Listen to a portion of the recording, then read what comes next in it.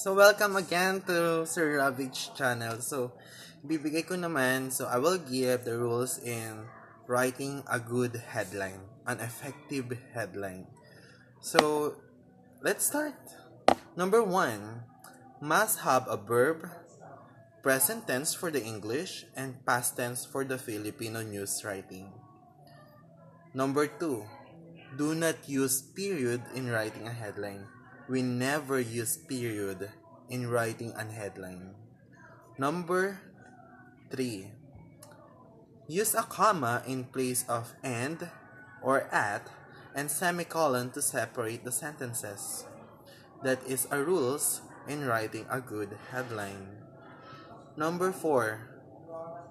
We are not using a, an, and da in an effective headline we never use a, an, and the in an effective headline, especially if that is a competition, just like in journalism.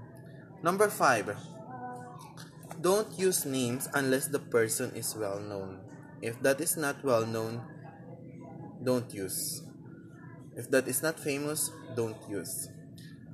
We are just using the names of the person if that is a famous politician, famous actress, or actors or a well-known personality here in our country or even in the world. So, number 5, uh, number 6, use the infinitive for the future events.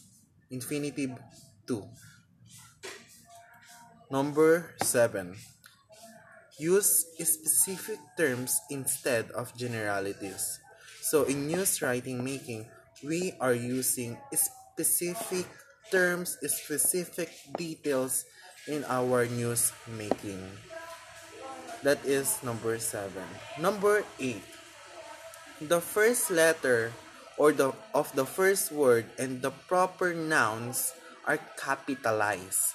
That is rule in our very good effective headline for the news writing. Always remember that the first word and the proper nouns should be capitalized. So it must be big letter. So number nine, the headline should give the gist of the story in just a few words. When we say gist, this is a preview. This is uh, something catchy word or to catch the attention of your readers. What do you think is the inside or the content of your news news story? That is a gist when we say GIST, G-I-S-T, this is introduction, the springboard to your news. That is a headline. So number 10, the content of the headline over a news story should be taken from the lead of the news. So if there is an introduction, when we say lead news, lead of the news, this is the introduction. And then your introduction is a basis for your headline.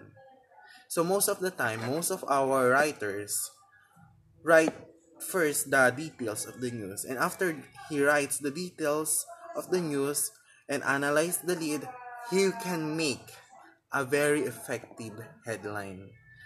As short as possible, that is good. And then, number 10. The content of the headline over a news story should not taken should be taken from the lead of the news. So that is rather that that is already discussed. Some I'm sorry. So number eleven, write numbers in Arabic form.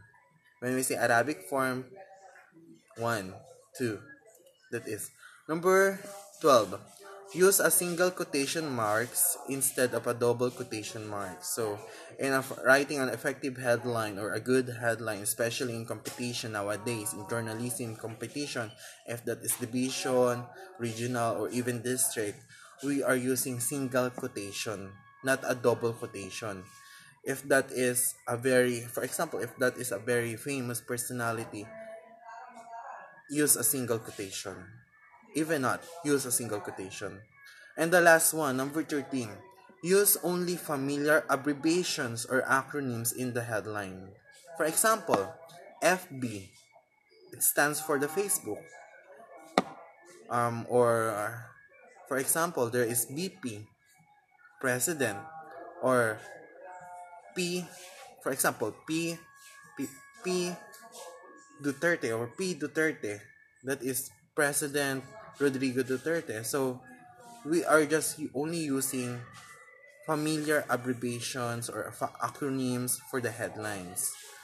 So I hope that these 13 rules in writing an effective headline will help you a lot. So thank you for watching. I hope this will help you, especially for your crime competition nowadays. Don't forget to subscribe Sir Ravage channel. Bye!